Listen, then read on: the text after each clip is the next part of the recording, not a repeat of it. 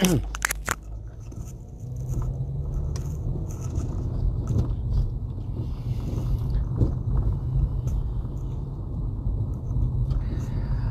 គមន៍បងប្អូនទាំងអស់គ្នាជំរាបសួរជំរាបសួរជាថ្មីម្ដងទៀត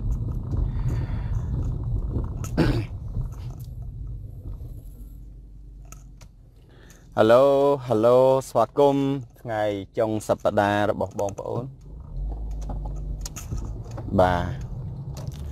ស្វាគមន៍ថ្ងៃចុងសប្តាហ៍របស់បងប្អូនអឺដោយឡែកខ្ញុំអត់មានអឺចុងសប្តាហ៍ទេថ្ងៃស្អែកបានជាថ្ងៃចុងសប្តាហ៍របស់ខ្ញុំបាទប៉ុន្តែថ្ងៃស្អែកនេះខ្ញុំត្រូវទៅអឺចូលរួមកម្មវិធីនៅនឹងវត្តលាវបាទកម្មវិធីចូលឆ្នាំនៅវត្តលាវទៀតហើយដូច្នេះស្អែកហ្នឹងត្រូវទៅវត្តលាវមួយជើងទៀត ស្វាគមន៍បងប្អូនទាំងអស់គ្នាដែលបានជើញចូលរួមនៅក្នុងការ live ផ្ទាល់របស់ខ្ញុំប្រកាសណាខ្ញុំបាទថ្ងៃនេះគឺជាថ្ងៃសៅរ៍អឺទី20ខែមេសាឆ្នាំ2019សូមស្វាគមន៍បងប្អូនទាំងអស់គ្នា មកកាន់ការ live ផ្ទាល់របស់ខ្ញុំប្រកាសណាខ្ញុំបាទអរគុណបងដៅយុទ្ធរាជអរគុណបងថូមីសាន់អរគុណបងសុភាសរិទ្ធអរគុណបង គ្រីស្ទៀនបងគ្រីស្ទៀនជឹមអរគុណអរគុណបងជូលីសែមអរគុណអាម៉ាលីអរគុណអរគុណបងយូជីលីអរគុណខ្លាសុផាន់អរគុណទុនសៃសអរគុណបងប្អូនទាំងអស់គ្នាសុភ័ក្រអ៊ូបាទអរគុណអឺសុភ័ក្រអុកសំទោសអឺស្វាគមន៍បងប្អូនទាំងអស់គ្នា ស្វាគមន៍បងផូលីនសុខសប្បាយបងផូលីនស្វាគមន៍បងប្អូនទាំងអស់គ្នាលីនដាអរគុណបងប្អូនទាំងអស់គ្នាដែលបានជើញចូលរួមថ្ងៃនេះខ្ញុំពិតជាមានភាពសប្បាយរីករាយឥតឧបមាក្នុងនាមខ្ញុំជាប្រជាពលរដ្ឋខ្មែរមួយរូបដែលប្រឆាំងជាមួយនឹងក្រមប្រជាការឬក៏មេដឹកនាំប្រជាការខ្ញុំ មហិច្ឆតារបស់ខ្ញុំបកគលខ្ញុំ គឺចង់បានឲ្យប្រទេសកម្ពុជា មាន ប្រព័ន្ធដឹកនាំជាតិមួយ ដែលគិតគូរអំពី ផលប្រយោជន៍ជាតិនិងប្រជាជនខ្ញុំសូមបញ្ជាក់ចំហម្ដងទៀតថាក្នុងនាមខ្ញុំជាប្រជាពលរដ្ឋខ្មែរមួយរូបមហិច្ឆតាដែលខ្ញុំចង់បាន បំផុត ចំពោះការតវ៉ាមតិនិងការតស៊ូមតិជាមួយនឹងការប្រើអហិង្សានៅក្នុងការតស៊ូមតិនេះ គឺខ្ញុំចង់បានប្រព័ន្ធដឹកនាំជាតិមួយ ដែលគិតគូរអំពីផលប្រយោជន៍ប្រទេសជាតិជាធំ ហើយនិងប្រជាជនជាធំខ្ញុំចង់ឲ្យប្រជាជនខ្មែរមានអធិបតេយ្យភាពហើយខ្ញុំចង់ឲ្យប្រជាជនខ្មែរមានឯកច្ឆន្ទភាព អានឹងគឺជាមហិច្ឆតាដែលខ្ញុំកណាខ្ញុំបាទចង់បានរឿងក្រៅពីនឹងវាជារឿងបន្ទាប់បន្សំវាជារឿងកំពេចកំពុកដែលខ្ញុំតែងតែគិតថាវាជាបញ្ហារបស់មនុស្សដូច្នោះខ្ញុំសូមសម្ដែងនៅការរីករាយជាថ្មីម្ដងទៀតចំពោះពលករពលករនីជាពិសេស ក្រោមការដឹកនាំរបស់ចលនាយុវជនប្រទេសកូរ៉េចលនានារីប្រទេសកូរ៉េដែលបានរៀបចំមហាបាតុកម្មភ្លើងទៀនមួយ នៅថ្ងៃនៅយប់មិញនៅក្នុងប្រទេសកូរ៉េដែលប្រព្រឹត្តទៅយ៉ាងអធិកអធមដ៏មហោឡារិកដែលនៅក្នុងប្រវត្តិសាស្ត្រ នៃប្រជាជនក្រៅប្រទេស បាននឹងកំពុងធ្វើសកម្មភាពទាមទារលទ្ធិប្រជាធិបតេយ្យខ្ញុំពិតជាមានមោទនភាពមោទនភាពមិនមែនដោយសារខ្ញុំជាអ្នកធ្វើទេខ្ញុំមោទនភាពជាមួយនឹងឆន្ទៈដែលខ្ញុំប្រើពាក្យថាឯកច្ឆន្ទភាពរបស់ខ្មែរខ្ញុំមោទនភាពជាមួយនឹងឯកច្ឆន្ទភាពរបស់ខ្មែរ ហើយខ្ញុំសូមកោតសរសើរចំពោះចលនាមហាបាតុកម្មភ្លើងទៀននេះមែនតែនមហាបាតុកម្មភ្លើងទៀនប្រព្រឹត្តទៅនៅប្រទេសកូរ៉េប៉ុន្តែឯកច្ឆន្ទភាពនៃមហាបាតកម្មភ្លើងទៀននេះវាបានកើតឡើង នៅទូទាំងពិភពលោក រួមទាំងនៅក្នុងប្រទេសកម្ពុជា និងបណ្ដាលខ្មែរដែលរស់នៅជុំវិញពិភពលោកទាំងមូលហេតុអីបានជាខ្ញុំនិយាយដូច្នោះ ខ្ញុំឃើញកាលពីយប់មិញព្រឹកមិញកាលពីយប់មិញបន្ទាប់ពីខ្ញុំឡាយហើយខ្ញុំអស់កម្លាំងពេកខ្ញុំក៏គេងទៅខ្ញុំអត់បាននៅ តាមដានព្រឹត្តិការណ៍ខ្ញុំគេងតតែម៉ោង9ព្រឹកបានខ្ញុំក្រោកអញ្ចឹងព្រឹត្តិការណ៍ត្រូវបានបញ្ចប់បន្ទាប់ពីខ្ញុំក្រោកពីគេងមកគឺត្រូវបានបញ្ចប់ហើយព្រឹត្តិការណ៍ជាប្រវត្តិសាស្ត្រហ្នឹងត្រូវបានបញ្ចប់ប៉ុន្តែអ្វីដែលខ្ញុំភ្ញាក់ផ្អើលអ្វីដែលខ្ញុំសប្បាយចិត្ត មែនតែនអ្វីដែលខ្ញុំភ្ញាក់ផ្អើលអ្វីដែលខ្ញុំសប្បាយចិត្តមែនតែនគឺខ្ញុំឃើញបងប្អូន នៅតាមប្រព័ន្ធសង្គម Facebook នៅទូទាំងពិភពលោក រួមទាំងប្រទេសកម្ពុជាយើងផងគាត់បានបង្ហោះនៅយុទ្ធនាការពន្លឺភ្លើងទៀនយ៉ាងផុសផុសនៅក្នុងប្រព័ន្ធសង្គម Facebook នោះគឺខ្ញុំចង់បញ្ជាក់ថាខ្មែរពិតជាមានបំណងចង់ធ្វើការផ្លាស់ប្ដូរយ៉ាងពិតប្រាកដតាមពិតខ្ញុំនឹកឃើញទៅដល់ពាក្យចាស់បុរាណ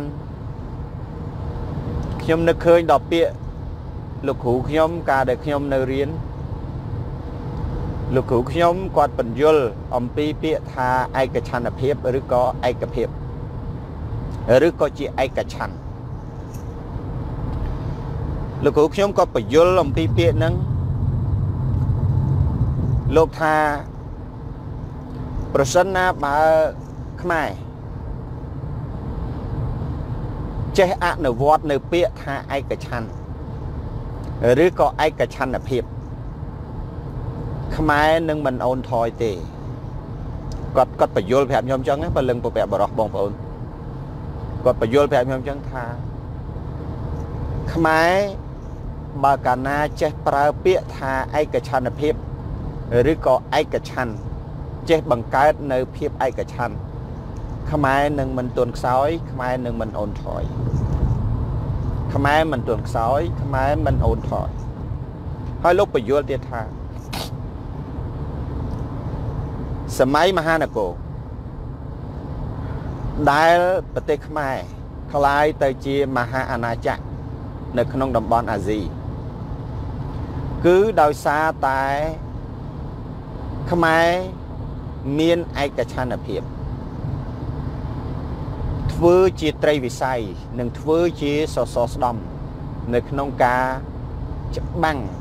ដើម្បីពង្រីកទឹកដី ដើម្បីពង្រីកទឹកដីទៅបានលុះត្រាណាតែកងទ័ពខ្មែរមានឯកច្ឆន្ទភាពយ៉ាងពិតប្រាកដ ទើបអាចពង្រីកទឹកដីឲ្យធំទូលំទូលាយបានណាបងប្អូនអញ្ចឹងខ្ញុំបានមើលឃើញកាលពីយប់មិញពេលដែលខ្ញុំក្រោកពីគេងមកខ្ញុំមើលឃើញបងប្អូនមិនថាបងប្អូនខ្លះគាត់ថតតែភ្លើងទៀនបងប្អូនខ្លះគាត់បាននិយាយបងប្អូនខ្លះគាត់ live បងប្អូនខ្លះគាត់សរសេរអត្ថបទបងប្អូនខ្លះ គាត់បានទៅចូលរួមខ្ញុំជឿថាសកម្មភាពទាំងអស់ហ្នឹងវាជាសកម្មភាពដែលលោកគ្រូខ្ញុំគាត់បានប្រាប់ថាអានឹងហើយជាឯកច្ឆន្ទភាព តាមពិតឯកច្ឆន្ទភាពនេះ លោកបយល់ខ្ញុំថាឯកច្ឆន្ទភាពមិនចាំបាច់តែទៅចូលរួមផ្ទាល់ទេសំបីតែ ចូលរួមជាលក្ខណៈប្រយោលក៏គេចាត់ទុកថាវាជាផ្នែកមួយនៃឯកច្ឆន្ទភាពគឺជាផ្នែកមួយនៃឯកច្ឆន្ទភាពដូចជាករណីបងប្អូននៅតាមប្រព័ន្ធសង្គម Facebook ខ្ញុំសូមសរសើរបងប្អូននៅក្នុងប្រព័ន្ធសង្គម Facebook ហើយខ្ញុំចង់ឲ្យបងប្អូនបន្តនៅឯកច្ឆន្ទភាពភ្លើងទៀនហ្នឹងបន្តទៅទៀតខ្ញុំជឿថាឯកច្ឆន្ទភាពភ្លើងទៀននេះណា មិនមែនមិនមែនជារឿងដែលយើងធ្វើលេងសើចទេវាជារឿងដ៏អស្ចារ្យដ៏អស្ចារ្យខ្ញុំបើកមកខ្ញុំឃើញតែភ្លើងទៀនខ្ញុំបើកមកខ្ញុំឃើញតែភ្លើងទៀនខ្ញុំពិតជាពិតជាសប្បាយរីករាយអ្វីដែលខ្ញុំចង់និយាយគឺខ្ញុំចង់បង្ហាញអំពីឯកច្ឆន្ទភាព ដែលលោកគ្រូខ្ញុំធ្លាប់បញ្យល់កាលពីខ្ញុំនៅរៀនខ្ញុំអត់យល់ខ្ញុំអត់យល់ទេថាលោកលោកបញ្ជាក់ទៀតថាឯកច្ឆន្ទភាពហ្នឹងណាបើកាលណាខ្មែរយើងមានហើយវាបង្កើតបានទៅជាអច្ឆរិយៈអច្ឆរិយភាពមួយហើយឯកច្ឆន្ទភាពនេះណាបើកាលណាខ្មែរយើងបង្កើតឡើងសម័យនោះ សម័យនោះយើងយើងយើងឃើញព្រឹត្តិការណ៍លោកបញ្យលអំពីព្រឹត្តិការណ៍បុណ្យទាននីមួយនីមួយជាប្រវត្តិសាស្ត្រនៅក្នុងប្រទេសនីមួយនីមួយគឺវាចេញផ្ដើមពីឯកច្ឆន្ទភាពហើយគេកំណត់ផ្ដើមនៃឯកច្ឆន្ទភាពនឹងនៅក្នុងចំណុចអ្វីមួយឧបមាថាបុណ្យឯករាជ្យជាតិបុណ្យឯករាជ្យជាតិហ្នឹងក៏សំដែងអំពីឯកច្ឆន្ទភាពដែរលោកលោកបញ្យលយើងអញ្ចឹងណា បុណ្យឯករាជ្យហ្នឹងអ៊ំសវណ្ណីសែមអរគុណលោកអ៊ំក៏បង្ហាញអំពីឯកច្ឆន្ទភាពជាតិដែរហើយឯកច្ឆន្ទភាពនេះ គឺគេកំណត់ពេលវេលាមួយហើយគេធ្វើសកម្មភាពរួមមួយ ទាំងអ្នកធ្វើផ្ទាល់ទាំងអ្នកធ្វើប្រយោលក៏ជាឯកច្ឆន្ទភាពជាតិចឹងបានខ្ញុំខ្ញុំ ខ្ញុំនិយាយថ្ងៃនេះខ្ញុំនិយាយរៀងសពេចសពិលខ្ញុំនិយាយរៀងរដេករដប់ដោយសារតែខ្ញុំឃើញនៅឯកច្ឆន្ទភាពរបស់ខ្មែរហើយនឹងបងប្អូនដែលចង់ធ្វើការផ្លាស់ប្ដូររបបដឹកនាំដែលអាក្រក់ខូខើរបស់លោកហ៊ុនសែនហើយយើងនិយាយអំពីក្បួនបាតកម្ម មហាបាតកម្មភ្លើងទៀននៅកូរ៉េយើងឃើញថាច្រើនកោះកច្រើនកោះកហើយខ្ញុំសូមកោតសរសើរចំពោះបងប្អូនបងបងនៅក្នុងប្រទេសកូរ៉េដែលគាត់ជាពលករពលករនី ខ្មែរដែលចំណាក់ស្រុកមកធ្វើការនៅក្នុងប្រទេសកូរ៉េគាត់ប្រឈមជាមួយនឹង ការគម្រាមកំហែងនិងការសម្លុតបំភ្លៃបំភ័យបំភាន់នៃរបបទីក្រុងភ្នំពេញក៏គាត់មិនញញើតក៏ពួកគាត់មិនខ្លាចមួយទៀតពួកគាត់បានចំណាយពេលវេលា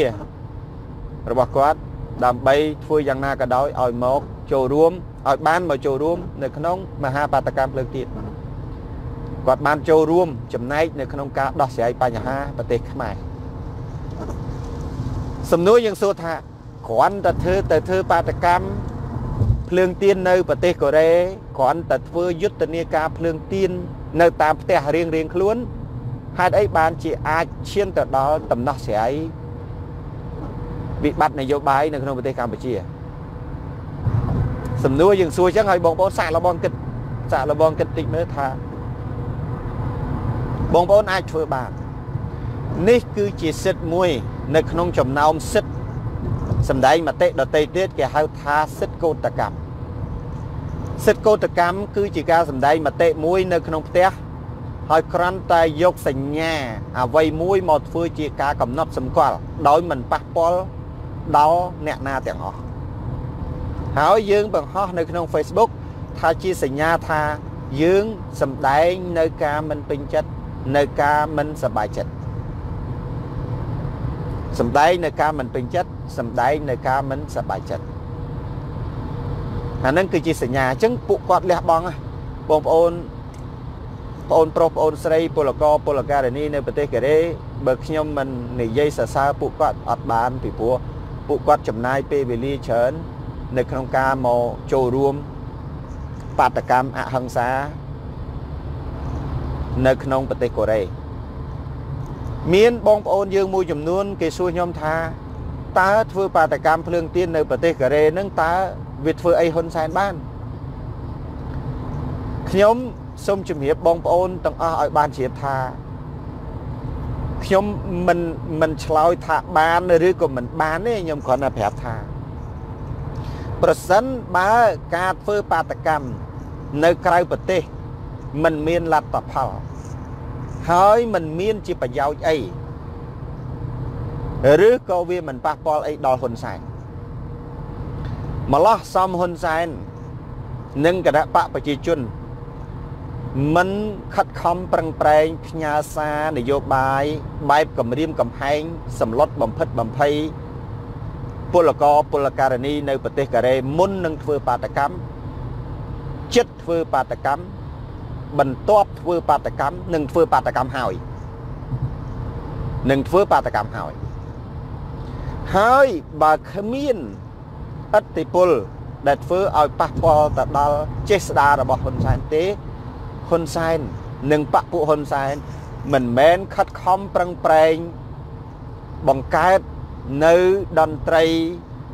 មនុស្សធម៌ដែលដឹកនាំដោយ អីសុនវត្រាតាមពិតឈ្មោះគាត់ឈ្មោះឡុងឯងស្អីឡុងឯងប៉ុន្តែដល់ឈ្មោះគេឈ្មោះស្អីអីសុណាវត្រាឯណាណីគេពេញទឹកពេញដីប៉ុន្តែខ្ញុំស្គាល់តែឡុងឡុងឯងព្រោះវាកោដូចគ្នាបាទខ្ញុំស្គាល់វាតែអញ្ចឹងបងប្អូនចម្លើយខ្ញុំមិនចាំបាច់ឆ្លើយទេខ្ញុំគ្រាន់តែបញ្យល់ប្រាប់ពួកគាត់ថា ខ្ញុំគ្រាន់តែបញ្យល់ប្រាប់ពួកគាត់ថាប្រសិនណាបើការធ្វើបាតកម្មនៅក្រៅប្រទេសវាមិនធ្វើឲ្យប៉ះពាល់ដល់ហ៊ុនសែនម្លោះសំហ៊ុនសែនមិនប្រើលុយរាប់ម៉ឺនដុល្លារដើម្បីមកបង្កើតព្រឹត្តិការណ៍បំបីកម្លាំងបាតកម្មមហាមហាបាតកម្មភ្លើងទៀននៅប្រទេសកូរ៉េឡើយហើយហ៊ុនសែនក៏មិនចាំបាច់ឲ្យអ្នកនាំពាក្យរដ្ឋាភិបាលហ៊ុនសែន អ្នកនាំពាក្យគណៈបកប្រជាជនកម្ពុជា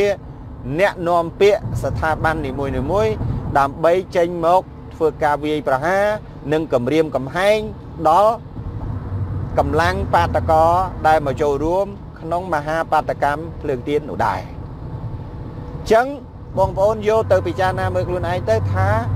តើការបាតកម្មនៅក្រៅប្រទេសនឹងវាប៉ះពាល់ជាមួយនឹងមុខមាត់ហ៊ុនសែនប៉ុណ្ណា នោះយើងនិយាយអំពីប្រទេសកូរ៉េចុះប្រសិនណាបើព្រឹត្តិការណ៍នឹងកើតឡើងនៅប្រទេសឥណ្ឌូនេស៊ីបើព្រឹត្តិការណ៍នឹងកើតឡើងនៅប្រទេសថៃបើព្រឹត្តិការណ៍នឹងកើតឡើងនៅប្រទេសអូស្ត្រាលីបើព្រឹត្តិការណ៍នឹងកើតឡើងនៅសហរដ្ឋអាមេរិក បើព្រឹត្តិការណ៍នឹងកើតឡើងនៅប្រទេសបារាំងបើព្រឹត្តិការណ៍នឹងកើតឡើងនៅក្នុងបណ្ដាប្រទេសនានា ដែលមានរូបភាពដូចគ្នាអញ្ចឹងដែលមានរូបភាពដូចគ្នាអញ្ចឹង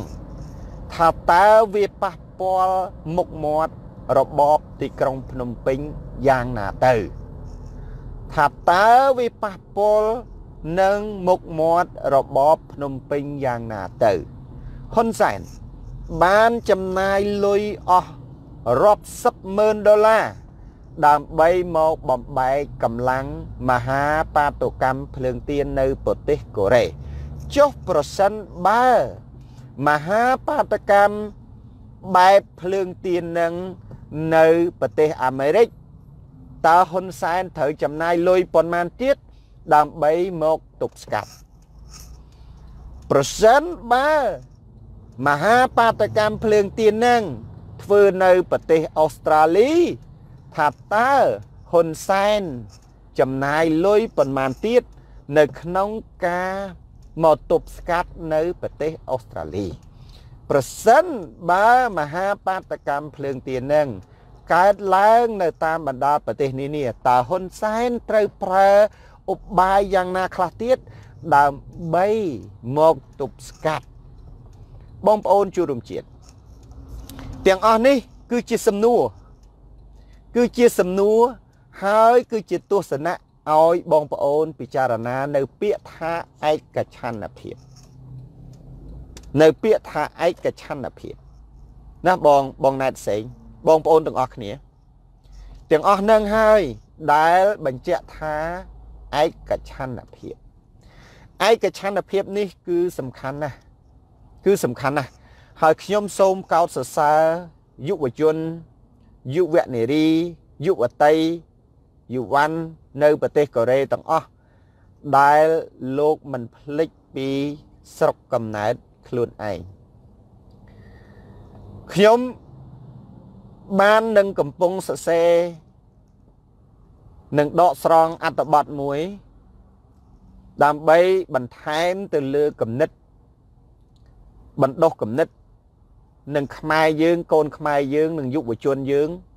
នាំគ្នាបណ្ដុះនៅគំនិតជាតិនិយមទី1ទី2យើងនាំគ្នាបណ្ដុះគំនិតស្នេហាជាតិអញ្ចឹងដើម្បីធ្វើឲ្យ មាតុភូមិប្រទេសរុងរឿងបាន វាតលតែកោសិកាពលគឺប្រជាជន នៅក្នុងប្រទេសនឹងពួកគាត់មានគំនិតជាតិនិយមពួកគាត់មានគំនិតស្នេហាជាតិអញ្ចឹងរូបមន្តដែលធ្វើឲ្យកូនខ្មែរចំនួនក្រោយ មានគំនិតជាតិនិយមតើកូនខ្មែរត្រូវធ្វើម៉េចគ្រោះថ្នាក់ចរាចរណ៍បងប្អូនអ្នកផ្សេងផ្សេងទៀត ស្ទះបាទបាទគ្រោះថ្នាក់ចរាចរណ៍ឲ្យស្ទះចំណែកឯ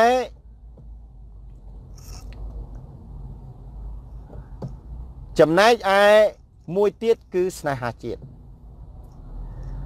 តើដើម្បីឲ្យកូនខ្មែរចំនួនក្រោយ មានគំនិតស្នេហាជាតិតើកូនខ្មែរត្រូវធ្វើម៉េច យើងត្រូវបញ្យល់កូនខ្មែរយ៉ាងម៉េចយើងត្រូវប្រាប់កូនខ្មែរឲ្យធ្វើម៉េចទាំងអស់នេះខ្ញុំចង់ជំរាបជូនបងប្អូន នៅរឿងមួយ ដែលពួកអ្នកគ្រប់គ្រង CPP នៅពេលដែលយើងនិយាយទៅដល់ជនជាតិបរទេសដែលមកក្នុងប្រទេសកម្ពុជា គេថាយើងពួកអាប្រកាន់ពូជសាសន៍ខ្ញុំបានសិក្សា ខ្ញុំបានទទួលការអប់រំពីចាស់ទុំបរមបារាណាចារ្យរបស់យើងខ្ញុំបានទទួល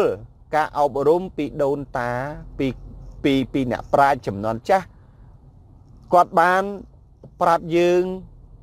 ថាឲ្យយើងចេះបណ្ដុះនៅគំនិតជាតិនិយមហើយនឹងគំនិតស្នេហាជាតិគំនិតជាតិនិយមឬក៏គំនិតស្នេហាជាតិ ទាំងអស់នេះគំនិតជាតិនិយម និងគំនិតស្នេហាជាតិទាំងអស់នេះ គឺជាគឺជាប្រលឹងដ៏មានតម្លៃគឺជាប្រលឹងដ៏មានតម្លៃរបស់ខ្មែរបាទគ្រោះថ្នាក់ពី3តង់បងប្អូនមើលគ្រោះថ្នាក់ចរាចរណ៍ពី3តង់ អាតង់ខាងនោះម្ដងហើយឥឡូវអាតង់ខាងនេះទៀតបាទអញ្ចឹងវាធ្វើឲ្យស្ទះការធ្វើដំណើររបស់ខ្ញុំបន្តិចបាទអញ្ចឹងគំនិតជាតិនិយមទាំងអស់នេះដែលកូនខ្មែរយើងត្រូវតែធ្វើឲ្យខ្ញុំឃើញបងប្អូនយុវជននៅប្រទេសកូរ៉េខ្ញុំខ្ញុំឃើញតាំងតែពីគាត់យប់មិញខ្ញុំអត់ចង់គេងទេបើកុំតែព្រឹកនេះខ្ញុំមកធ្វើការទៀតទេខ្ញុំអត់គេងទេបងប្អូនឃើញខ្ញុំឡាយយប់មិញ ខ្ញុំឡាយយប់មិញបងប្អូនបានឃើញហើយខ្ញុំឡាយយប់មិញហ្នឹងបិទភ្នែកផងបើកភ្នែកផងហើយដុតភ្លើងទៀនជាមួយបងប្អូនដុតភ្លើងទៀនមុនបងប្អូននៅកូរ៉េបាទហើយហើយជាមោទនភាពរបស់ខ្ញុំមិនមែនមិនមែនខ្ញុំមោទនភាពដោយសារខ្ញុំធ្វើទេណាបងប្អូនមែនទេខ្ញុំមោទនភាពចំពោះខ្មែរចំពោះយុវជនខ្មែរចំនួនក្រោយហើយខ្ញុំសង្ឃឹមថា យុវជនខ្មែរចំនួនក្រោយនឹងត្រូវប្រើគំនិតជាតិនិយមខ្ញុំអត់ខ្វល់ថាបងប្អូន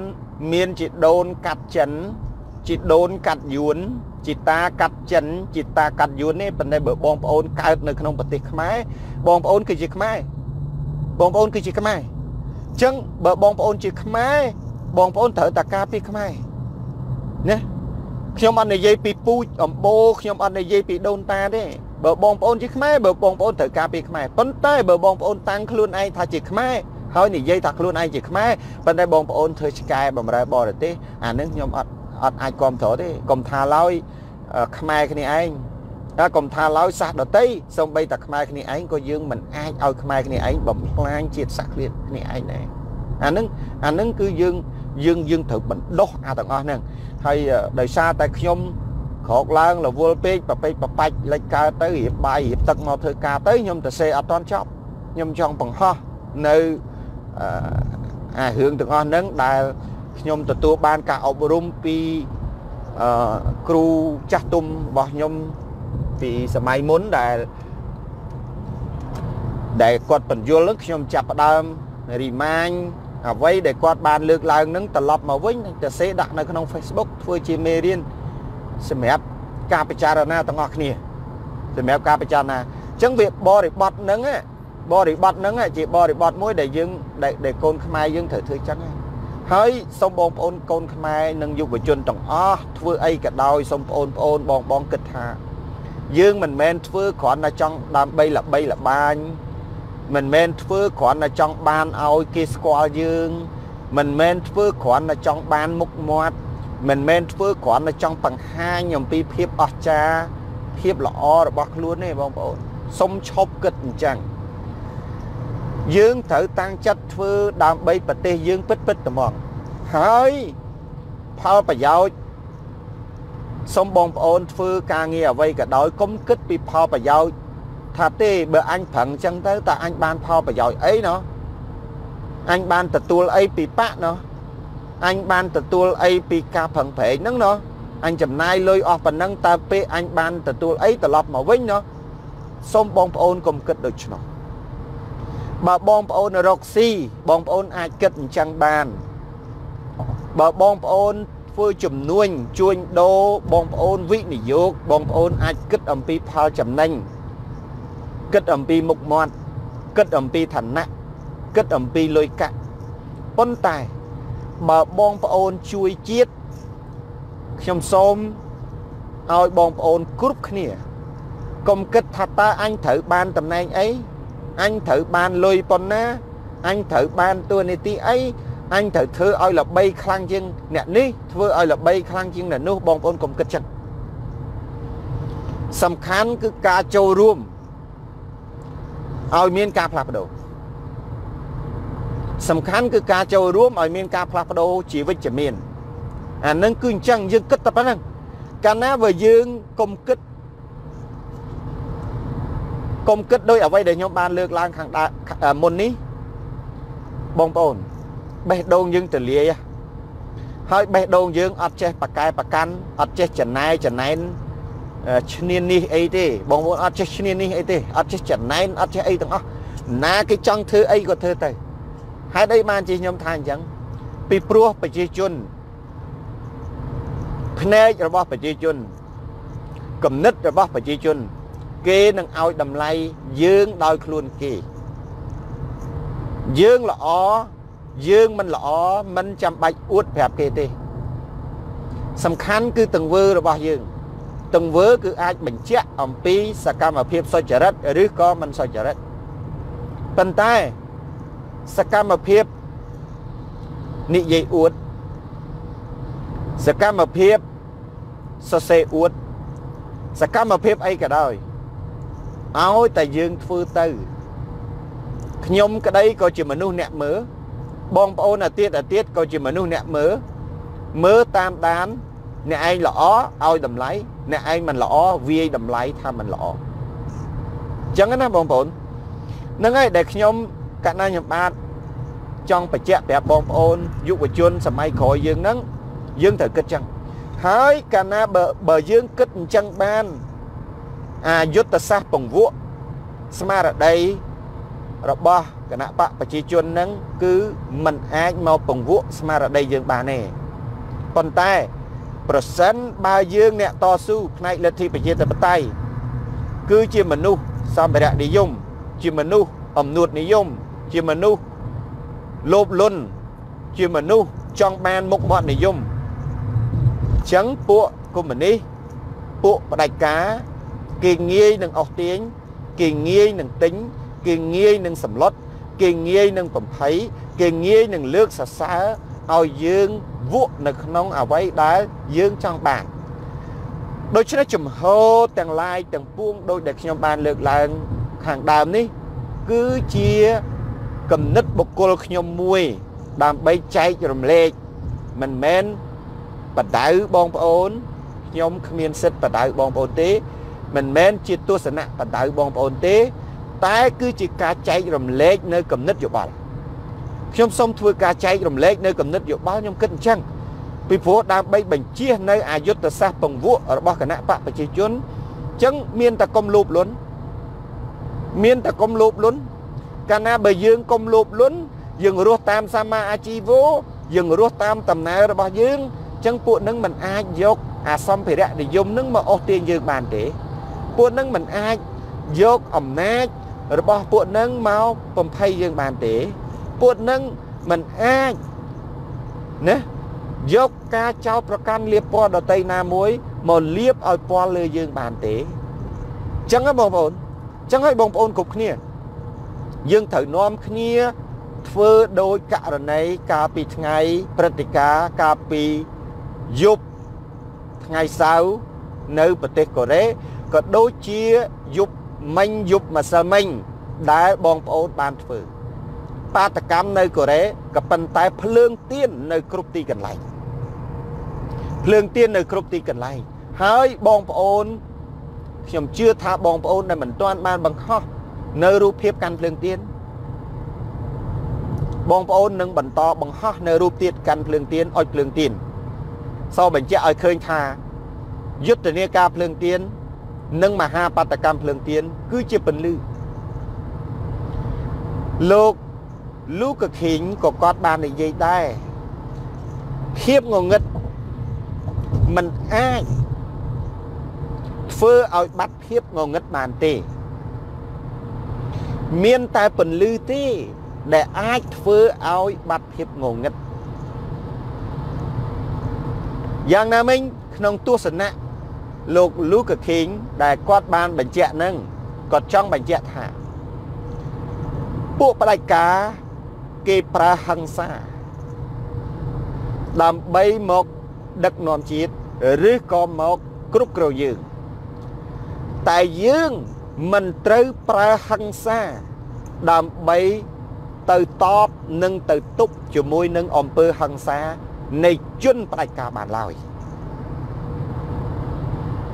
ភាពងងឹតរបស់ជនផ្ដាច់ការនិងទង្វើខ្មៅកខ្វក់របស់ជនផ្ដាច់ការមិនអាច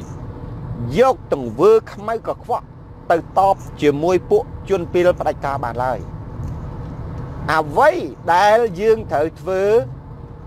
ជាយុទ្ធសាស្ត្របើជួនផ្ដាច់ការប្រើអំពើខ្មៅក៏ខ្វក់យើងត្រូវតែប្រើយុទ្ធនាការសស្អាត ដើម្បីទៅប្រឆាំងជាមួយនឹង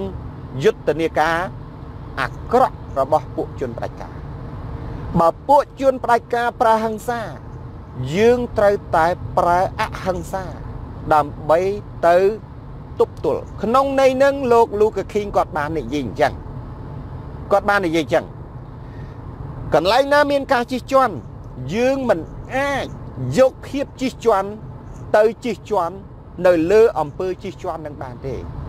ពីព្រោះកាលណាបើយើងយកអំពើជិះជាន់ទៅជិះជាន់នឹងអំពើជិះជាន់មានន័យថាយើង ជាមួយនឹងពួកជិះជាន់គឺវាងងឹតដូចគ្នា ក្នុងន័យខ្លឹមសារនឹងហើយ ជាន័យខ្លឹមសារដែលលោកលោកកខេងចង់បញ្ជាក់ហើយអ្វីដែលពួកយើងធ្វើនឹងណាដែលយើងធ្វើចលនាភ្លើងទៀននឹងណាគឺជាចលនាភ្លើងទៀនសន្តិវិធី គឺជាចលនាភ្លើងទៀនសន្តិភាព ដើម្បីលទ្ធិប្រជាធិបតេយ្យដោយថ្លៃថ្នូរជាងពួកគម្រាមកំហែង ពួកសម្លុតពួកបំផិតបំភ័យពួកបន្លែបន្លំ ពួកបំភាន់ការពិតពួកបន្លែបន្លំនិងពួកបំភាន់ការពិតពួកណា គឺខាងគណៈបកប្រជាជន គឺជាពួកប្រឆាំងជាមួយនឹងសេចក្តីល្អពួកគណៈបកប្រជាជន គឺជាពួកប្រឆាំងជាមួយសេចក្តីល្អហេតុអីបានជាខ្ញុំថាពួកប្រឆាំងជាមួយសេចក្តីល្អយើងធ្វើបាតកម្មភ្លើងទៀននៅប្រទេសកូរ៉េសោះ រឿងអីដែលគេគម្រាមកំហែងយើងហើយយើងធ្វើបាតកម្មស្នើសុំដោយសន្តិវិធីសោះរឿងអីដែលគេមានបំណងធ្វើទុកបុកម្នេញយើងចឹងមានន័យថាម៉េចមានន័យថាពួកគណៈបកប្រជាជនកម្ពុជា គឺជាពួកប្រឆាំងជាមួយនឹងប្រជាប្រជាសាសជាតិសាសខ្លួនឯងពួកគណៈបកប្រជាជនមួយចំនួន គឺប្រឆាំងជាមួយនឹងសច្ចធម៌ពិភពលោកអញ្ចឹងគេហៅយើងថាយើងជាគណៈបកប្រឆាំងខុសយើងមិនមែនប្រឆាំងដើម្បីអំពើកខ្វក់ឬក៏ធ្វើរឿងកខ្វក់ទៅបោកក្របបែកដាក់លោកហ៊ុនសែនទៅលួចបាញ់មន្ត្រីហ៊ុនសែនពួកយើងអត់ធ្វើទេ ប៉ុន្តែបើពួកហ៊ុនសែនវិញណាគឺលួចមកក្របបែកលួចបាញ់បង្កើតបាតដៃទី3បង្កើតឃាតករមានជួលឃាតករសពបែបយ៉ាងទាំងអស់ក្នុងនាមខ្លួនឯងជាអាញាធរដែនដីឃាតករដែលសម្លាប់ពលរដ្ឋនៅក្នុងការធ្វើបាតកម្មដោយអហិង្សា បែរទៅជាមិនអាចរកឃើញហើយចោតប្រកាន់ថាវាជាបាតដៃទី3 បើយើងដឹងថាអានឹងវាជាបាតដៃទី3ចុះហេតុអីបានជាហ៊ុនសែនមិនចាប់ពួកបាតដៃទី3ឲ្យបាននោះមានន័យថាម៉េចមានន័យថាពួកបាតដៃទី3នឹងឯងគឺជាមនុស្សនិងជាបពពួករបស់លោកហ៊ុនសែនអ្នកធ្វើអំពើអាក្រក់ដែលវាយតំណាងរាស្ត្រមានទោសមួយឆ្នាំចេញពីគុកព្យួរទោសមួយឆ្នាំ ចេញពីគុកមកវិញតម្លើងឋានៈឲ្យមនុស្សទុច្ចរិតចំណែកឯជួនប្រជាបរតស្លូតត្រង់គ្រាន់តែទៅលួចបេះដូងគេមួយធ្លាយទៅលួចត្រយងជែកគេមួយតឡាការកាត់ទោស10ឆ្នាំអ្នកវាយតំណាងរាស្ត្រដែលមានអភ័យឯកសិទ្ធជាប់ទោស2ឆ្នាំបំពេញទោស1ឆ្នាំ ព្យួរទោស1ឆ្នាំ ចេញមកវិញហ៊ុនសែនបំពាក់ផ្កាយឲ្យហ៊ីងមុនហៀងក៏ដូចគ្នា ជាជនដែលបោកក្របបែកនៅនឹងមុខរដ្ឋសភាចាស់លទ្ធផលរបស់ហ៊ីងមុនហៀងឡើងឡើងរហូតដល់ឧត្តមសេនីយ៍ផ្កាយ4នៅគៀកកោយជាមួយនឹងលោកហ៊ុនសែនបងប្អូនទាំងអស់ហ្នឹងគឺជាអ្វីដែលយើងមិនអាចទទួលយកបានទេ វាជាអំពើកខ្វក់ហើយយើងយើងអត់ត្រូវធ្វើអំពើកខ្វក់ឯងយើងធ្វើអំពើហ៊ុនសែនធ្វើអំពើកាន់តែកខ្វក់យើងកាន់តែធ្វើឲ្យល្អជាងលោកហ៊ុនសែនយើងត្រូវតែធ្វើឲ្យល្អជាងលោកហ៊ុនសែនការធ្វើឲ្យល្អជាងលោកហ៊ុនសែននោះមិនមែនមានន័យថាយើងទៅថ្វាយបង្គំនឹងទៅផឹកទឹកព្រះសុទ្ធលោកហ៊ុនសែនទេមិនមែនដូចអតីត តំណាងរាដែលក្បត់បាក់ខ្លួនឯងទៅសុំសិទ្ធធ្វើនយោបាយទាំងមេបាក់ខ្លួនមិនទាន់ចេញពីពន្ធនាគារការឃុំខ្លួននៅក្នុងប្រទេសអញ្ចឹងបងប្អូននឹងការរស់នៅធ្វើជាមនុស្សការរស់នៅធ្វើជាមនុស្សតើតែយើងធ្វើអញ្ចឹងអញ្ចឹងខ្ញុំចង់បញ្ជាក់មកវិញថាអ្វីជាឯកច្ឆន្ទភាព ឯកច្ឆន្ទភាពកាលពីយប់មិញតាមប្រព័ន្ធសង្គម Facebook ក្រោយពីបងប្អូនថ្នាក់ដឹកនាំគណៈបកសង្គ្រោះជាតិក្រៅប្រទេសក៏ដូចជាបងប្អូនយុវជនយុវនារីខ្មែរដែលនៅប្រទេសកូរ៉េគាត់បានអំពាវនាវអំពីការធ្វើបាតកម្មភ្លើងទៀនខ្ញុំគិតថាដំបូងយើងគ្រាន់តែធ្វើបាតកម្មភ្លើងទៀនទេ នៅប្រទេសកូរ៉េទេហើយយើងតាមដានបងប្អូនហើយមានអីតាម Facebook នៅប្រទេសថៃនៅម៉ាឡេស៊ីនៅឥណ្ឌូនេស៊ីនៅបារាំងកាណាដាអូទ្រីសអូស្ត្រាលីដេណាម៉ាស្វីស Switzerland New Zealand និងសហរដ្ឋអាមេរិកហើយនឹងបណ្ដាប្រទេសនេះនេះទេដែលខ្ញុំអត់ស្គាល់ គេនាំគ្នាដុតភ្លើងទៀនដូចបងប្អូននៅប្រទេសកូរ៉េចឹងគឺបង្ហាញអំពីឯកច្ឆន្ទភាពបងប្អូនបង្ហាញអំពីឯកច្ឆន្ទភាពហើយឯកច្ឆន្ទភាពមួយហ្នឹងធ្វើឲ្យរបបទីក្រុងភ្នំពេញឆេះបងប្អូនចាំមើលបន្ទាប់ពីមហាបាតកម្មប្រទេសកូរ៉េនឹងហើយរបបទីក្រុងភ្នំពេញឆេះ នឹងប្រព្រឹត្តអំពើអមនុស្សធម៌និងអំពើអគុណធម៌តាមរយៈការលើកឡើងរបស់ពួកគេតទៅទៀតគេអាចពន្លើសការពិត គេអាចបំភ្លៃការពិត គេអាចបំភាន់ការពិតណាគេអាចពន្លើសការពិត គេអាចបំភ្លៃការពិត គេអាចបំភាន់ការពិត គេអាចយករូបភាពផ្សេងផ្សេងដើម្បីមកចោតប្រកាន់យុទ្ធនាការភ្លើងទៀននឹងតទៅទៀត អញ្ចឹងនៅពេលដែលយើងឃើញក្រុមគណៈបកប្រជាជននឹងគេយកមហាបដកម្មភ្លើងទៀនទៅធ្វើបទអត្ថាធិប្បាយនឹងការវិយតម្លៃនឹងការចោតប្រកាន់នោះសបញ្ជាក់ឲ្យឃើញថាយើងបានវាយគេចំកដាកយ៉ៅហើយចឹងបើសិនណាជាអាមេរិកមានយុទ្ធនាការភ្លើងទៀនដូចនៅកូរ៉េប្រសិនបើនៅបារាំងនៅអូស្ត្រាលី មានយុទ្ធនាការភ្លើងទៀន ដូចនៅកូរ៉េខាងត្បូងនោះរបបហ៊ុនសែនចិត្តដល់ទីបញ្ចប់ហើយចឹងអ្នកគ្រប់គ្រងលោកហ៊ុនសែនខ្ញុំសូមអនុញ្ញាតជំរាបជូនបងប្អូនអ្នកគ្រប់គ្រងលោកហ៊ុនសែនឲ្យបានជ្រាបថា ជាពិសេសគឺបងប្អូនអាត្រឹមត្រូវមួយចំនួន ដែលធ្វើជាអ្នកនយោបាយស៊ីស្មៅក្នុងអូឬក៏ជាអ្នកនយោបាយ ដែលយើងអាចនិយាយបានថាជាអ្នកនយោបាយក្របីស៊ីស្មៅក្នុងអូហ្នឹងសូមឲ្យអ្នកនយោបាយទាំងអស់នោះគិតឡើងមកវិញហ៊ុនសែននឹងដល់ទីបញ្ចប់កម្លាំងយុទ្ធធរប្រកបជាឈ្នះកម្លាំងយុទ្ធធរប្រកបជាឈ្នះយូមិនឆាប់ទេកម្លាំងយុទ្ធធរប្រកបជាឈ្នះ បច្ចុប្បន្ននេះខ្ញុំមើលឃើញអំពីចំហាយនៃភាពអាប់អោនរាសីរបស់លោកហ៊ុនសែនចំហាយនៅភាពអាប់អោននៃរាសីរបស់លោកហ៊ុនសែនគឺធ្លាក់ដល់ចំណុចមួយដែលខ្ញុំអាចនិយាយបានថាយ៉ាងច្រើនមួយអាណត្តិនឹងលោកហ៊ុនសែននឹងចប់ ពាក្យមួយម៉ាត់លោកហ៊ុនសែននឹងចប់ចឹងអ្នកគ្រប់គ្រងលោកហ៊ុនសែនអ្នកដែលចង់រណែបរណបលោកហ៊ុនសែនណាអ្នកដែលចង់រណែបរណបលោកហ៊ុនសែនអុកញ៉ាឯអាដាមលោកជំទាវមួយចំនួន គួរតែដកខ្លួនថយហើយធ្វើអ្វីមួយយ៉ាងទោះជា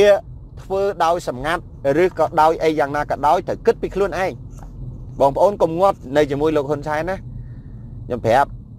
កុំងាប់នៅជាមួយនឹងនយោបាយលោកហ៊ុនសែនឯសោះពិភពលោកប្រែប្រួលហើយប្រទេសនៅទ្វីបអាហ្វ្រិកខាងត្បូងមានប្រមាណជា3ប្រទេស នៅក្នុងចំណោមប្រទេស5គឺប្រភពមេផ្ដឹកនាំផ្ដាច់ការបានដួលរលំជនមេដឹកនាំផ្ដាច់ការបានដួលរលំហើយអ្នកណាជាអ្នកផ្ដួលរំលំ គឺអ្នកដែលធ្លាប់គ្រប់គ្រងពួកជនផ្ដាច់ការនឹងឯងគឺជាអ្នកផ្ដួលរលំហេតុអីបានជាក្រៃត្រូវផ្ដួលរំលំ គេថាគេមិនអាច គេមិនអាចងាប់ក្រឡា នៅជាមួយពួកផ្ដាច់ការនឹងឲ្យថ្នាក់ដល់គេវិនិច្ឆ័យហើយទេអញ្ចឹងកម្លាំងកងទ័ពនឹងពីមុនជារបស់អ្នកណាក្រៃរបស់ប្រធានាធិបតីដែលដួលរលំហ្នឹងឯងថាជាការពិត កម្លាំងកងទ័ពទាំងអស់ហ្នឹងគឺជាកម្លាំងរបស់ប្រធានាធិបតីដែលដួលរលំហ្នឹងចុះហេតុអីបានជាកម្លាំងកងទ័ពហ្នឹងបែរទៅជាបែរកណុងដាក់មេដឹកនាំផ្ដាច់ការ50 60ឆ្នាំបងប្អូនត្រូវគិតចំណុចហ្នឹងណាមិនមែនកម្លាំងប្រជាជនខ្លាំងហើយក៏មិនមែនកម្លាំងទៅទាហានខ្លាំងពីព្រោះពេលដែលពួកផ្ដាច់ការកាន់តែធ្វើអាក្រក់ទៅអាក្រក់ទៅ សំបីតែមនុស្សដែលរស់នៅក្រមបន្ទាត់នៃក្រមជនផ្ដាច់ការនឹងក៏ពិបាកវេទនាពិបាករឿងអីពិបាកមួយថ្ងៃមួយថ្ងៃអត់បានដេកអត់បានពួនមួយថ្ងៃមួយថ្ងៃគេបជាទៅនេះគេបជាទៅនោះគេប្រាប់នេះប្រាប់នោះសួរថាតើបងប្អូនកងកម្លាំងប្រដាប់អាវុធបងប្អូនកងកម្លាំងប្រដាប់អាវុធទាំងអស់សួរថាបងប្អូនបងប្អូនរីករាយទេ បងប្អូនធ្វើការ24ម៉ោងពេញ24ម៉ោងនៅពេលណាដែលគេត្រូវការប្រើយើងយើងកំពុងតែដេកយើងកំពុងតែហូបចុកម៉ោងយើងកំពុងនៅផ្ទះគេខលយើងទៅភ្លាមខ្ញុំសួរបងប្អូនខ្ញុំសួរបងប្អូនបលិសទាហានមន្ត្រីរាជការទាំងអស់ខ្ញុំចង់ឲ្យបងប្អូនពិចារណាខ្ញុំចង់ឲ្យបងប្អូនពិចារណាថាហេតុអីបានជារបបផ្ដាច់ការ ហេតុអីបានជារបបផ្ដាច់ការនៅលើពិភពលោកនឹងដួលរលំដោយសារតែគេនឿយណាយដោយសារតែគេនឿយណាយនឹងការដឹកនាំនៃរបបផ្ដាច់ការនឹងសំបីតែបលិសទាហានយោធាបលិសទាហានយោធាគេនឿយណាយចំពោះមេដឹកនាំផ្ដាច់ការនឹងអញ្ចឹងហើយខ្ញុំគិតថាខ្ញុំដូចជាធំក្លិន ចំហាយចំហាយលហៀងលហៀងពាក់ព័ន្ធជាមួយនឹងរាសីលោកហ៊ុនសែននឹងចុះដល់កម្រិតទាបបំផុតនៅក្នុងឆ្នាំ2019ចុងឆ្នាំ2019និងដើមឆ្នាំ2020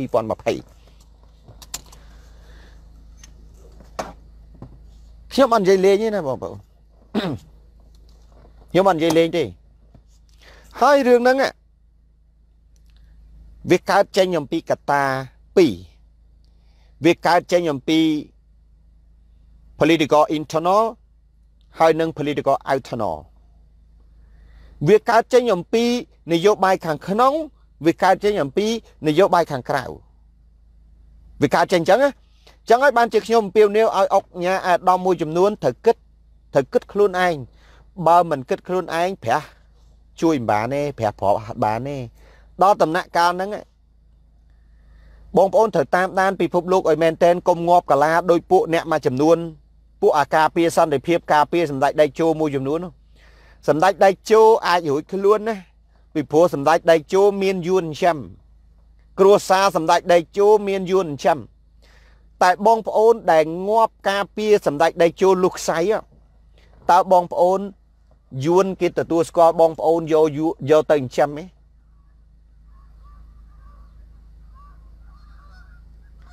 បាទបងវិរាវិរាអិន political internal តើគេយកបងប្អូនទៅអត់អុកញ៉ាអាដាមមួយចំនួនលោកហ៊ុនសែនមានរឿងគាត់រត់ទៅយួនអាស៊ីងចុះបងប្អូន ដែលគាំទ្រហ៊ុនសែនលោកខ្សៃរត់ទៅណាឥឡូវខ្ញុំសួររត់ទៅណាអញ្ចឹងបងប្អូនកុំងាប់កលា កុំងាប់កលាឲ្យសោះបងប្អូនត្រូវបត់បែនតាមសភាពការហើយខ្ញុំប្រាប់ហើយថាខ្ញុំជូនព័ត៌មានបងប្អូននេះ មិនមែនជាការបំផិតបំភ័យបងប្អូននេះខ្ញុំមិនបាច់ចាំបាច់បំភ័យទេពីព្រោះរបបហ៊ុនសែនបានបញ្ជាក់ប្រាប់បងប្អូនប៉ុន្តែគ្រាន់តែបងប្អូនគិតថាហ៊ុនសែនខ្លាំងតាគ្រាន់តែបងប្អូនគិតថាលោកហ៊ុនសែនខ្លាំងប៉ុន្តែអានឹងមិនមែនជាភាពខ្លាំងរបស់លោកហ៊ុនសែនទេ តែគឺជាភាពឆ្លេឆ្លា និងភាពស្លន់ស្លោរបស់របបទីក្រុងភ្នំពេញច្រើនជាងជាភាពឆ្លេស្លានិងជាភាពស្លន់ស្លោនៃរបបទីក្រុងភ្នំពេញអញ្ចឹងខ្ញុំខ្ញុំខ្ញុំសូមអំពាវនាវឲ្យបងប្អូនកងកម្លាំងប្រដាប់អាវុធហើយការអំពាវនាវនេះមិនមែនជាការឆ្កឹះឆ្កៀលទេខ្ញុំនិយាយអំពាវនាវប៉ុន្តែជាលក្ខណៈឲ្យបងប្អូនយល់ ខ្ញុំបញ្យល់ប្រាប់បងប្អូនថាហេតុអីបានជាខ្ញុំនិយាយភាសាហ្នឹងពីព្រោះបងប្អូនមើលប្រទេសអាហ្វ្រិកខាងត្បូងឥឡូវ3ហើយហើយប្រទេសមួយដែលនៅជិតសហរដ្ឋអាមេរិកនេះប្រទេសមួយដែលនៅជិតសហរដ្ឋអាមេរិកនេះគឺជាក្រុមដែលថ្នាក់មេដឹកនាំផ្ដាច់ការដូចជាប្រទេសរុស្ស៊ីដូចជាប្រទេសចិនគាំទ្រនៅអាហ្វ្រិកខាងត្បូង ប្រទេសកុម្មុយនីសទាំង5ប្រទេសកុម្មុយនីសទាំង5ឥឡូវមានប្រទេស3ហើយដែលប្រធានាធិបតីដែលកាន់អំណាចយូរជាងគេដួលរលំហើយខ្ញុំបញ្ចុះប្រាប់ចុះឡើងចុះឡើងតើដួលរលំដោយសារអីដោយសារអង្គការសហប្រជាជាតិទេឬដោយសារណាណាដោយសារប្រជាជន ដោយសារប្រជាជន និងកងកម្លាំងប្រដាប់អាវុធដែលជាប្រជាជននៃប្រទេសនោះ គេងើបឡើងមិនមែនដោយសារអង្គការសហប្រជាជាតិមិនមែនដោយសារសហរដ្ឋអាមេរិកមិនមែនដោយសារប្រទេសចិនជួយណា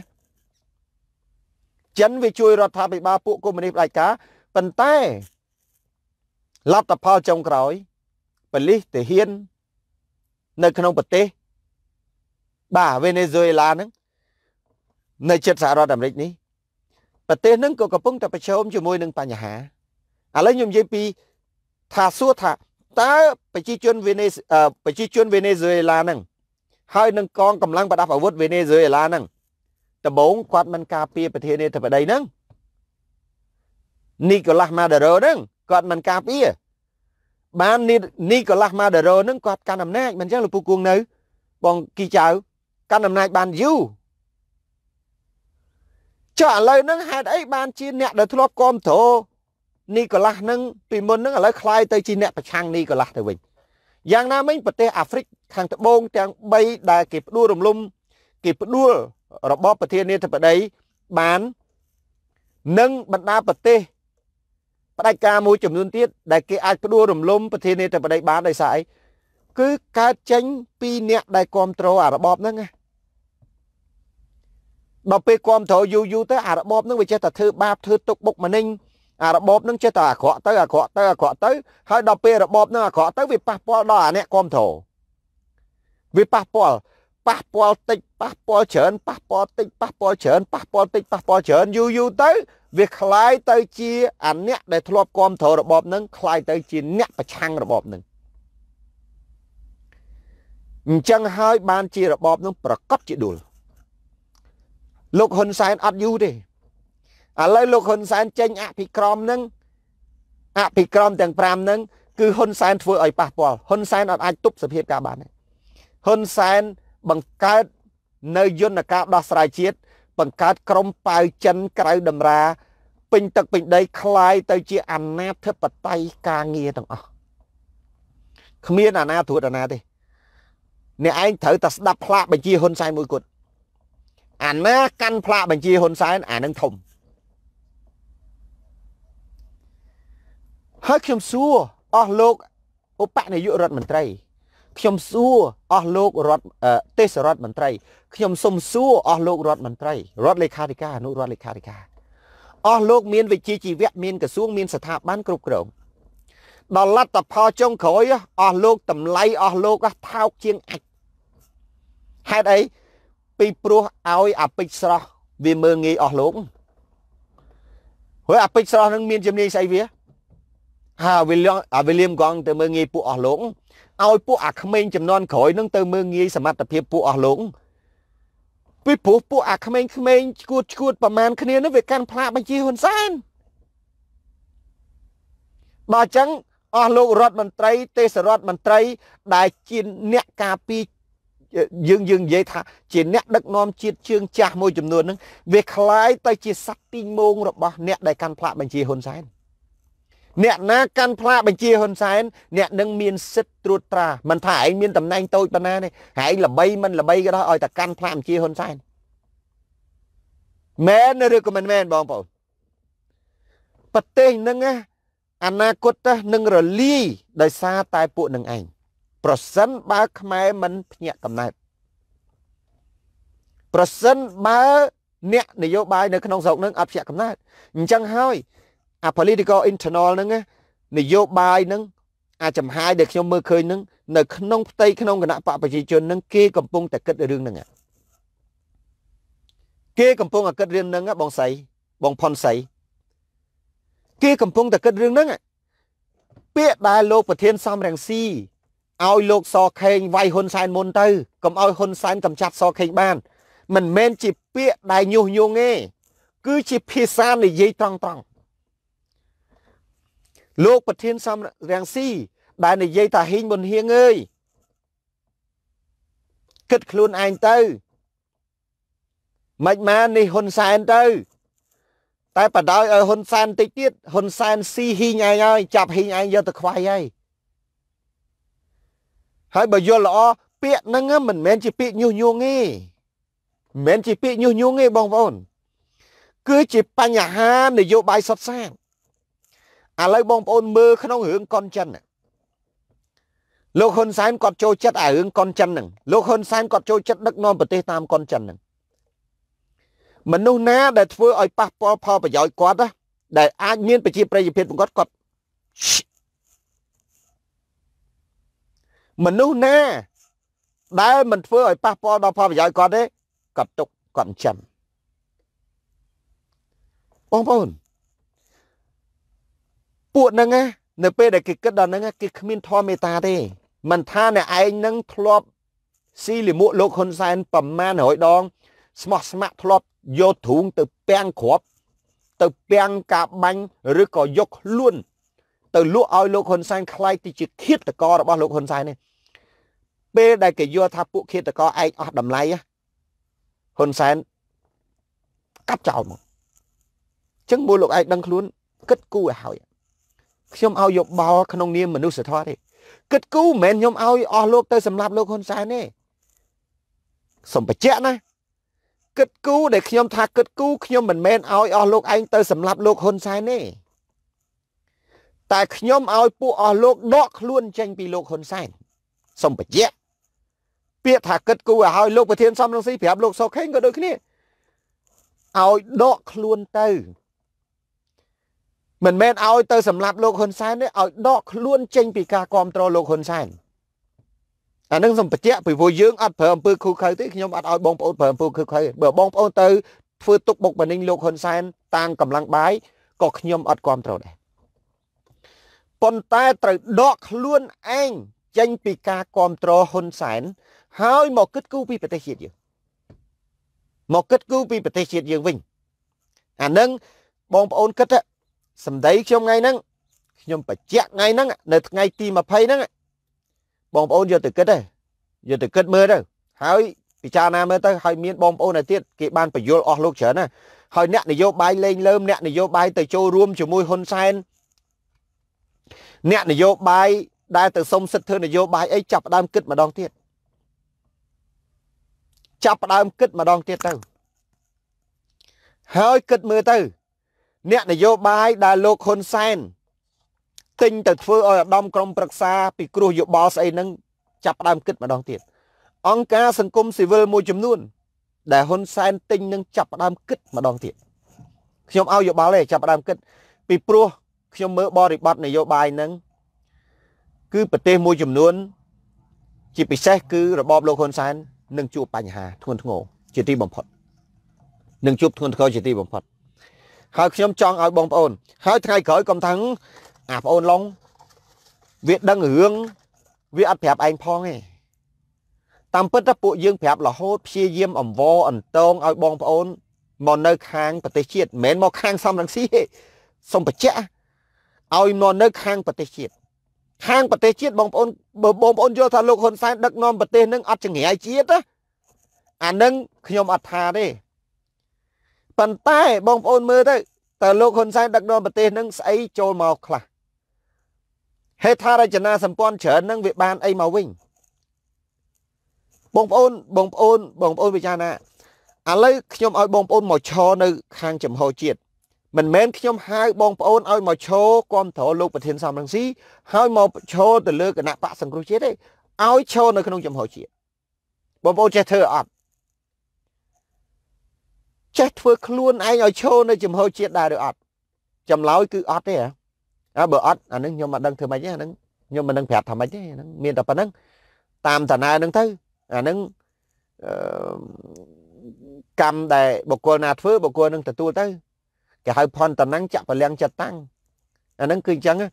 ឬក៏បងប្អូនពិចារណាទៅអលង្កម្មនិយៈនីលង្កម្មនិយៈភាសាបាលីគេថាអញ្ចឹងគួរឬក៏មិនគួរ គួរនៅជាមួយហ៊ុនសែនទៀតឬក៏គួរចេញពីហ៊ុនសែនអាហ្នឹងខ្ញុំចង់ជំរាបជូនអញ្ចឹងបងសមាលីបងប្អូនទាំងអស់គ្នាខ្ញុំដូចជាអត់មានអីទៀតទេខ្ញុំមកដល់កន្លែងធ្វើការបងប្អូនអញ្ចឹងសូមអធិស្ឋានដោយសារតែខ្ញុំសប្បាយពេកខ្ញុំភ្លេចពេលមកដល់កន្លែងធ្វើការខ្ញុំភ្លេចណាបៃបៃអីអីភីភីវងថាងន់ឈ្មោះយួនបាត់អា ឈ្មោះងាងាន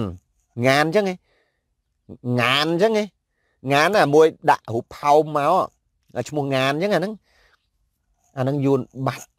យួនយើងដឹងស្រាប់ហើយថាវាដៃកាពីយើងអីចឹងខ្មែរយើងនិយាយគ្នាហើយយួនចូលមកវាប្រកាសជាឲ្យផោមឲ្យអាចអាហ្នឹងវាធម្មតាណាបងប្អូនជាចុងបញ្ចប់ខ្ញុំសូមទី1ជាពិសេសក្នុងនាមខ្ញុំជាប្រជាជនខ្មែរមួយរូប ដែលតែងតែនិយាយនៅក្នុង Facebook ហើយការពារអ្នកប្រជាធិបតេយ្យគ្រប់គ្រងអ្នកប្រជាធិបតេយ្យគ្រប់គ្រងការរួបរวมតែស្អប់បំផុតគឺជនដែលបំបែកគ្នាឯងហ៊ុនសែនបំបែកយើង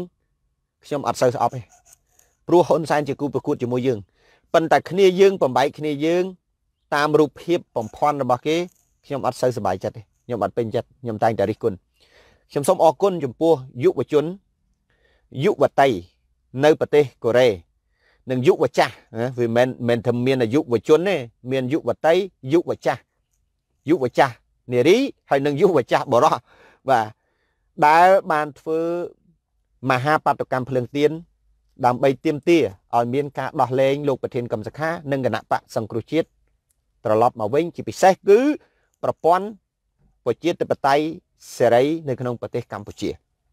សូមអរគុណ ក្នុងនាមខ្ញុំជាប្រជាជនខ្មែរទី2ខ្ញុំសូមអរគុណចំពោះបងប្អូន ខ្មែរនៅជុំវិញពិភពលោក ដែលបងប្អូន បានធ្វើសកម្មភាពដុតទៀនចូលរួម ជាមួយនឹងចលនាមហាបដកម្មភ្លើងទៀននៅប្រទេសកូរ៉េបងប្អូននៅអាមេរិកបារាំងកាណាដា